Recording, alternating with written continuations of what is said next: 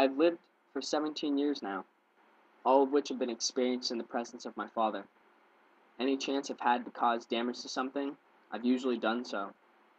How I've recovered and gained from each subpar performance hasn't been a major result from my own doings, but rather the unconditional love and support my father has always given to me. This, I believe, is the most important and prosperous way to live, as my father's ways have grown on me and shaped the person I am today. I was a young specimen with a mind like silly putty. Anything and everything was a new trial of guess and check for me.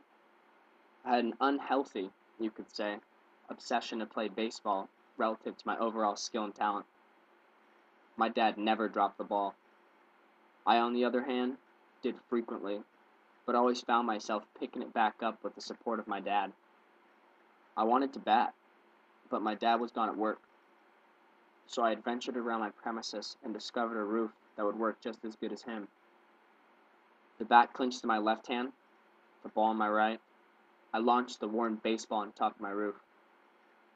Unfortunately, I dealt a massive blow to my parents' office window. I felt a gravitational shift in the universe. I ran up into the office and saw one problem no fix. I hid and sobbed in hopes that everything would go away, but nothing did. My dad came home from work, strolled casually to his room, and on the way there, got sidetracked by the scatters of glass throughout the office and hallway. I heard his wrathful shout erupt and hurried up to him in attempts to rid my name from the execution list. Then it was as if that same gravitational shift in the universe occurred again, and my dad was now hugging me, squeezing me with every muscle in his body in hopes to override the sadness and depression overwhelming me. He took me away from the sight and sat me down in his room, not once speaking of my catastrophe.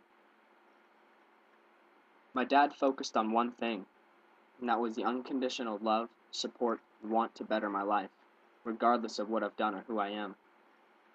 I thought I was going to endure a you've disappointed me speech or a you're grounded speech and spanking, but I didn't.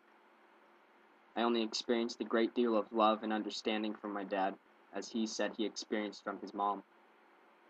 I thought I got lucky because I'd never broken a window before, but I found out I got lucky because of the amazing dad I have. This broken window event, though nothing on the scale of outrageous or uncommon, changed the way I look at people and their actions and how I conduct myself as a student, citizen, and family member. People respond better and are truer to reassurance and support rather than a constant barrage of fear and oppression.